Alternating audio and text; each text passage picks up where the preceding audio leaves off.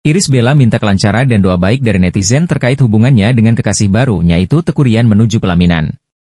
Seperti yang kita ketahui aktor Tekurian menikmati satu momen bersama buah hatinya dengan Ria Ricis yakni Moana. Di sela kesibukannya sebagai pemain sinetron Saleha, Tekurian mengajak anaknya itu jalan-jalan. Dalam postingannya baru-baru ini, Tekurian membawa Moana ke sebuah tempat mirip mall. Ada sejumlah foto yang di-share-nya di Instagramnya bersama Moana.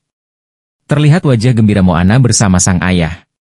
Namun yang menjadi perhatian adalah video di Slide 5. Dalam video itu, Moana berada dalam mobil bersama ayahnya. Tekurian mencoba mencandai Moana hingga tertawa yang nonton video di HP. Nah, yang menjadi sorotan adalah suara cewek dalam video itu. Suara cewek itu menyeruak di antara tawa Moana dan canda Tekurian. Lucu ya, kata cewek itu. Ada yang menduga jika itu suara Iris Bella. Suara ceweknya itu Iris. Tebak satu netizen. Suaranya Iris Bella, kata netizen yang lain. Ah ada cewek lain SMA 2 dengan Moana, begitu CPT ada penganti so kecewa, e ujar yang lain. Namun ada juga yang menduga itu suara Ria Ricis. ITU suara Icis Kaan, e tulis yang lain. Meski begitu banyak yang senang melihat Moana bahagia saat bersama ayahnya. Sempat dijodoh-jodohkan dengan sejumlah orang mulai Abidzar Al-Ghifari hingga Tekurian. Iris Bella membuat pengakuan. Pemain sinetron Saleha itu mengaku sudah punya calon suami baru yang akan menggantikan Amarzoni. Memang, setelah bercerai dari Amarzoni, Iris Bella kembali membuka hati untuk pria. Wanita dua anak itu mengaku sedang dekat dengan pria lain. Meski begitu, artis yang akrab di Sapaibel ini masih enggan untuk mengungkap identitas pria yang sedang dekat dengannya itu.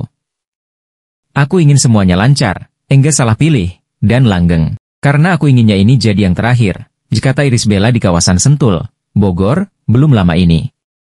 Apabila pria tersebut nantinya menjadi pasangan hidup, Iris Bella berharap dia dapat menerima masa lalunya. Tak hanya itu, Iris Bella tak ingin kegagalan rumah tangga sebelumnya terjadi lagi. Ia memastikan latar belakang calon kekasihnya itu jelas. Ia pasti bisa nerima aku apa adanya. Bibit bebet bobotnya juga oke dan bisa mencerahkan masa depan, eh jelas Iris Bella. Adapun saat ini Iris Bella tengah disibukkan dengan bekerja pasalnya, ia harus membiayai hidup kedua anaknya.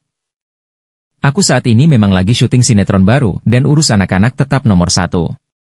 Lalu juga lagi menjalankan bisnis juga. Semuanya demi anak-anak, eh ujar Iris Bella. Makanya semoga semua yang aku jalankan ini diridai sama Allah dan semua yang cita-citakan bisa segera diwujudkan, ipungkasnya. Sebelumnya, Iris Bella dan Tekurian sempat ramai dijodohkan warganet. Penyebabnya, foto keakraban Duda dan Janda itu di lokasi syuting sinetron Saleha beredar. Akhirnya, banyak warganet baper lantas menjodohkannya. Foto keakraban Iris dan Rian itu beredar melalui akun gosip baru-baru ini. Terekam, Iris Bella dan Tekurian tampak bahagia dan fresh.